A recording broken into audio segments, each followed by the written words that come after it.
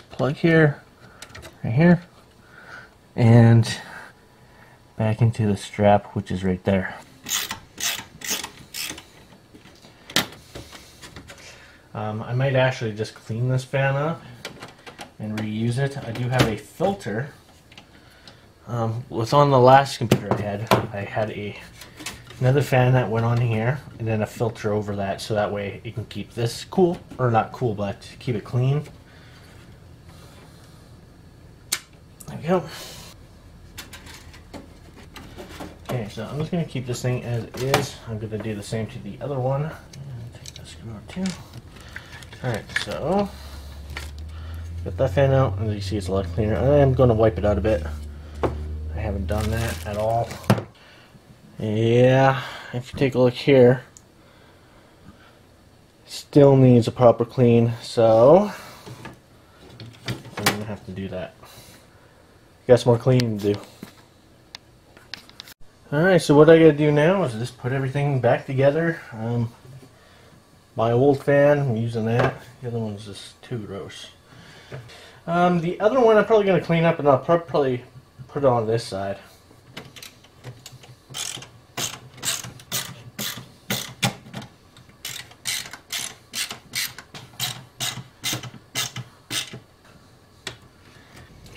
Now I just gotta deal with this little fella.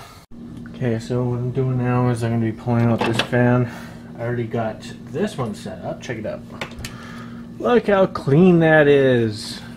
I even washed this plastic piece in the sink there with some soap and hot water. Yeah, looks like it's brand new. I just gotta get this cord out because this one's going next. Alright, I might as well slide it out. There we go. Okay, I just gotta unplug it from the board so it's the right bottom. Well, at least that one has screws, so that's easier to deal with. Check that out.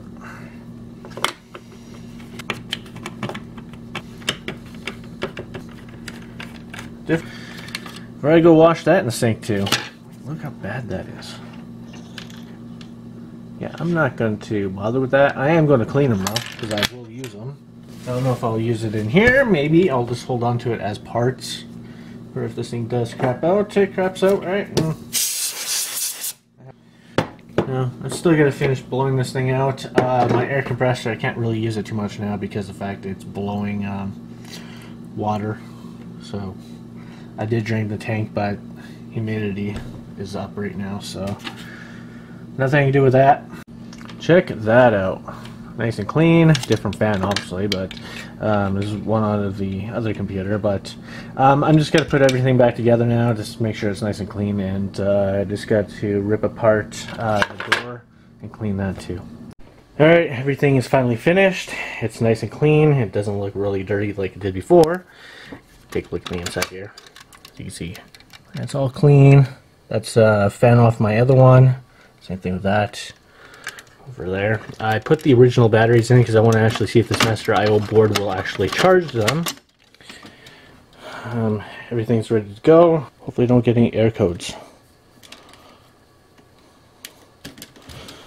And it's not starting up. It's plugged into the wall. Hmm. Technical issue. So apparently I really had to push on the button. Seems to be running. Showing Alienware head, so obviously the BIOS is working. And have the drives making that sound? So that fan's working. That fan's working. I feel it. Obviously, that one's going to be working. I can really smell it. Uh, is my top fan working? Yep, that one's working too. Okay.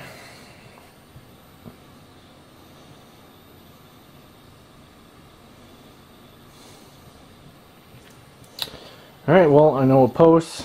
I just have to format it now. Well, I guess I'm ready to install Windows. Ended up picking up Windows 10 Home Premium here. Um, I already obviously opened it because I thought this was going to be a CD, but apparently it is a USB stick. So that's kind of cool. Have two Western Digital terabyte drives here, which is going to be in RAID 0. I thought I would do this instead of solid state because I wanted longevity and a little bit of performance.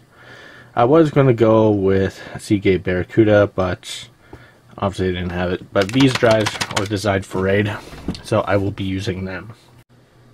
Okay, so the first thing I'm going to do is I'm just going to pull the keyboard and mouse side panel off here. I'm going to take these drives out because they are no longer needed. And they're the wrong ones anyways, they're Western Digital Blues. And this one here was just the operating system drive, so this system was running slow. packages, obviously not even open.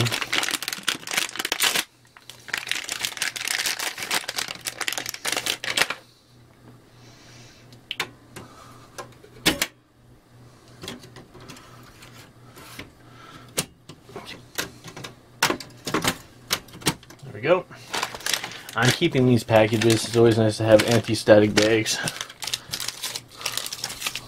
Just for the heck of it, I thought I would show you guys uh, Windows 10, how it actually looks now. I don't know if any of you guys seen one of these boxes, but it's actually kind of cool. If you take a look here, we have uh, the key. I can't flip it around because I ain't giving you guys a code, but it's got this cool little flip out here. Tells you what you need to do. But I already know that. But here is the cool part. I already took the sticker off because I was messing around with it. Um, oh, there's a book. That part I haven't seen. I don't care. I just want this. It's stuck in there. There we go. So, as you can see, um, apparently this is um, 32 and 64, so I take it that they have both versions on here. So that's cool. That's a smart idea. So having two different type of discs. Now, I'm going to need that eventually. I shall keep it in there for now. Um, I got to go into the BIOS first and set this computer up in RAID. Okay. Sorry if uh, it's not the best appealing setup that I got here. But I'm going to turn on the computer and I'm going to go to F12, or F2, I should say. Right, so I just turned on the computer. I'm just going to keep tapping F2. Also, I got to turn on the TV. Okay, yeah, here we are. So, um, I gotta figure out where the heck RAID is. So, advanced BIOS features? No, that wouldn't be it. Where the heck would you be? Integrated devices. Alright, here we are, SATA mode. RAID mode, that's what I want. Um, I want to go to boots here because we want. Okay, so it says USB hard disk. Why is that hard disk? That should be flipped. Hmm. Maybe USB hard disk. So we have hard disk here. UEFI boot mode. I had this on Legacy in the past. We'll keep it on that for now, just in case I may have to change it. I don't know. We'll see. Uh, all right, we got. Everything looks fine here. Hmm. I want to save. And I just want to go back in there again.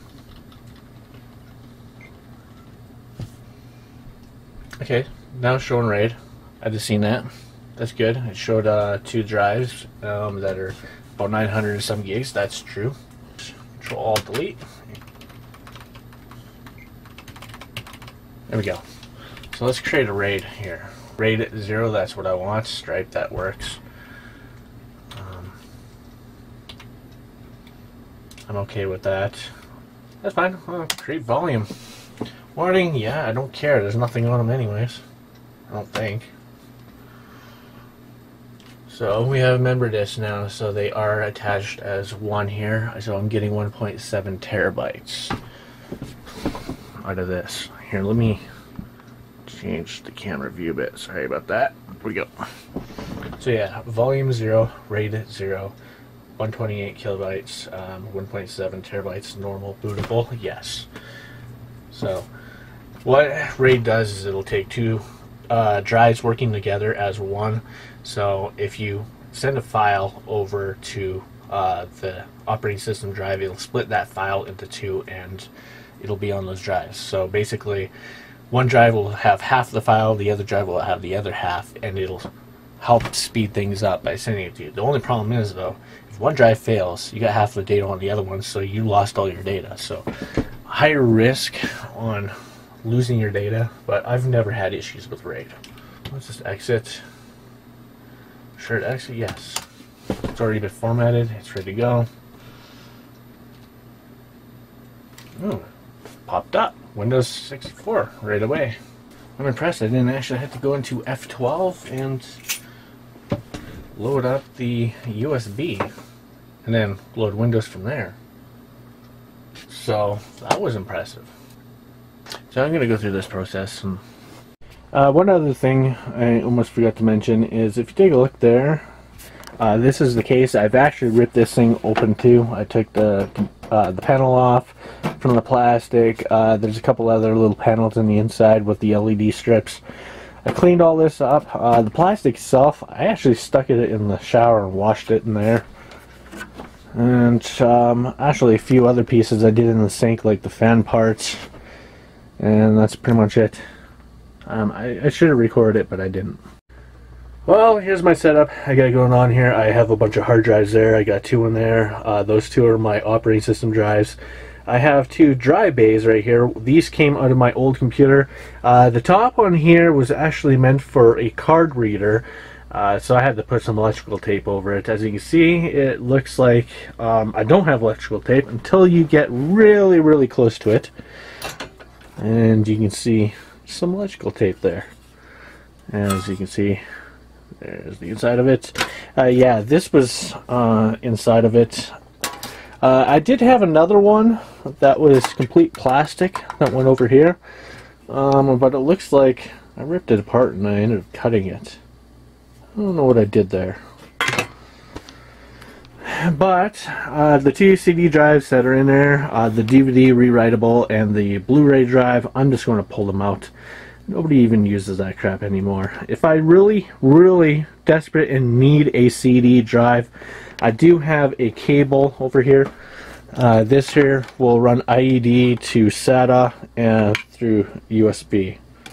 And there's uh, the power part for it anyway. So um, I've actually been using that for getting some of my drives set up.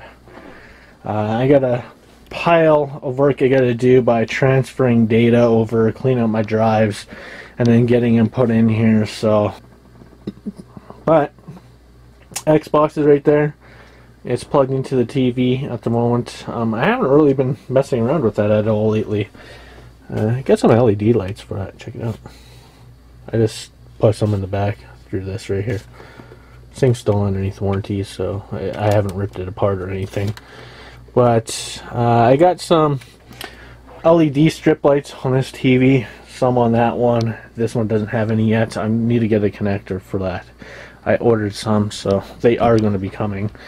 Uh, for this right here, um, I found one of my filters for it right here. As you can see, this would uh, go over the radiator, but right here. But I had uh, another fan that would go in between. That way you can try to suck more air through it because this kind of stops the airflow a bit. But this one here, if you take a look, it's not too, too bad, but this is bulged out, so if I have the fan blade near that, it's just going to constantly rub on it. I may have to just replace this completely. I did have another one. I don't know what happened to it. I did find that in the shed, though. Um, I also did find uh, the power supply fan, which uh, this one doesn't seem to be too bad. I don't smell this anymore. Maybe it's just because I've been hovering by it for a few days now, but I don't seem to smell it anymore. Um, everything seems to be good, but yeah, I still got a lot of work to do. I've been working on the operating system. I've just been trying to get all my programs. Oh, the camera's going fuzzy there, but I've been trying to get all my programs, everything set up. So I got data I'm trying to do. Yeah, um, my other keyboard, uh, the Alienware keyboard, I actually have it down here. Um, do, do, do, do. I seriously have a lot of these freaking things. That's an Alienware keyboard. I got one there. I have a box that's right there with a brand new one, not even opened up. I have one out in the living room. I got one in the back room. I got the one that comes with the computer. I got these keyboards up the butt. I actually really like those keyboards. They're really nice. So I'm definitely going to hook it up. But that one there, I was using my Raspberry Pi. I'm just temporarily using that for now. But still got a lot of work to do.